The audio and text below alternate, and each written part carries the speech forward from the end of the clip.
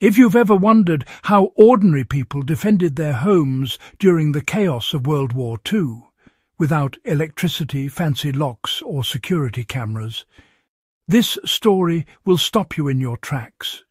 Because hidden in the rubble and rationing of the 1940s was a forgotten bit of home defence ingenuity.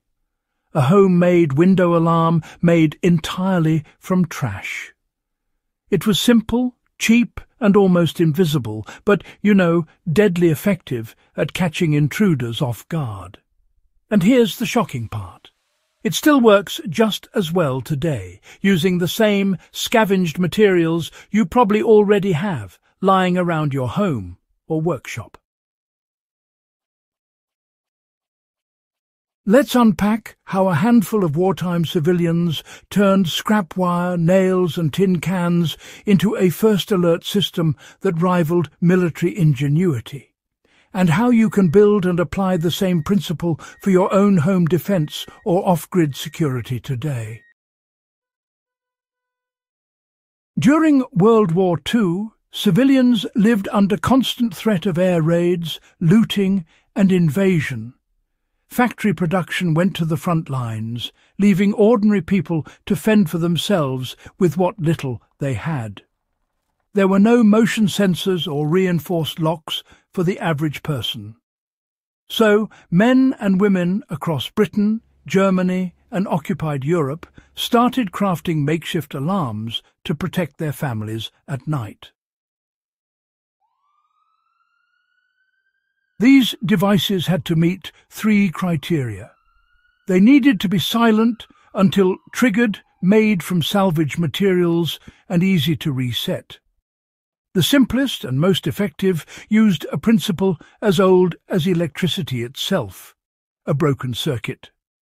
When a door or window stayed shut, the circuit remained closed and current flowed quietly through. But when it opened, even slightly, the connection snapped, setting off a sound. In wartime, that sound might have been a clattering tin, a small bell, or even the metallic shriek of scrap metal being pulled apart. In modern terms, it was an analog motion sensor born from scarcity and fear. You didn't need a degree in engineering to make one of these, really. In fact, most were built from discarded radio parts, leftover wire, and, well, a few nails hammered into the window frame. Here's how it worked.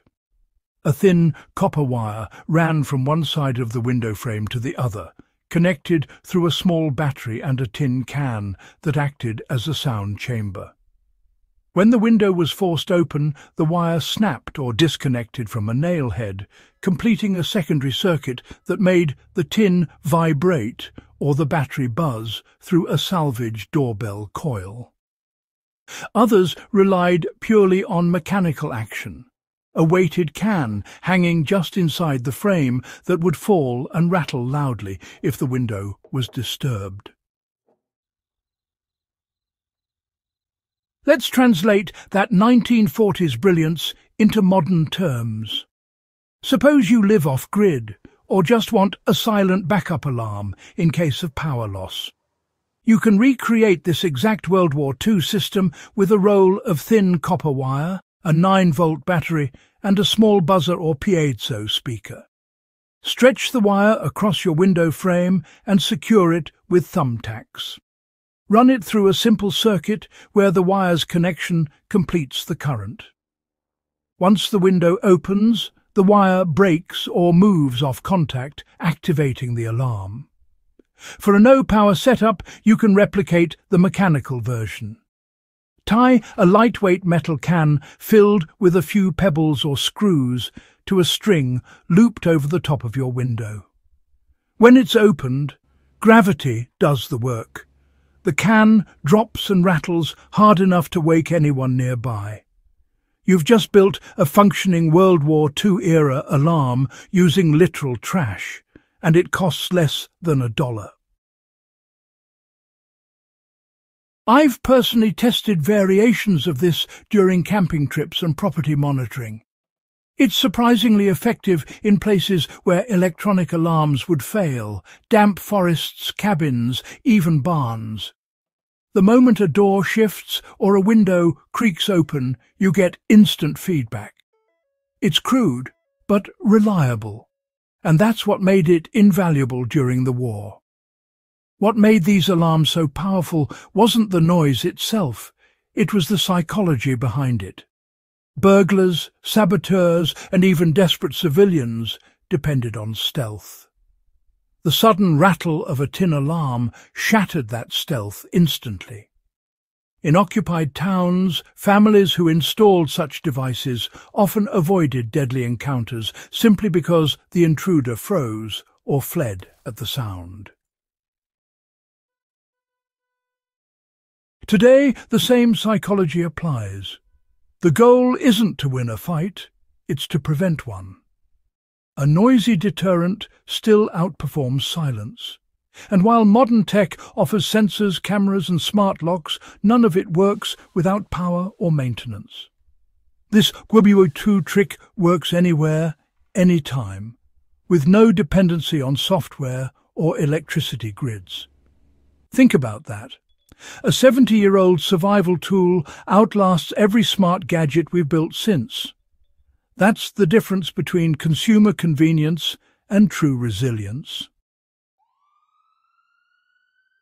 If you take one lesson from this forgotten alarm, it's not just the mechanism, it's the mentality. Wartime civilians didn't wait for governments or supply chains to rescue them.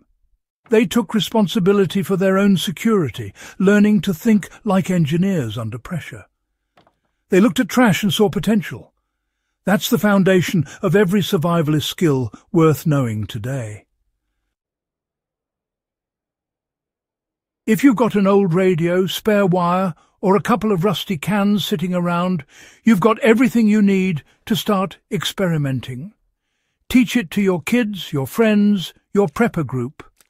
History's value lies in its application, and this small piece of forgotten wartime innovation deserves to live again. If you found this guide valuable, share it. Because every time we rebuild one of these forgotten tools, we keep history alive in the most practical way possible. Subscribe to Warfield Survival for more deep dives into real wartime ingenuity the kind that turns history into modern readiness. The old tricks still work, and the smart ones among us never stop learning from them.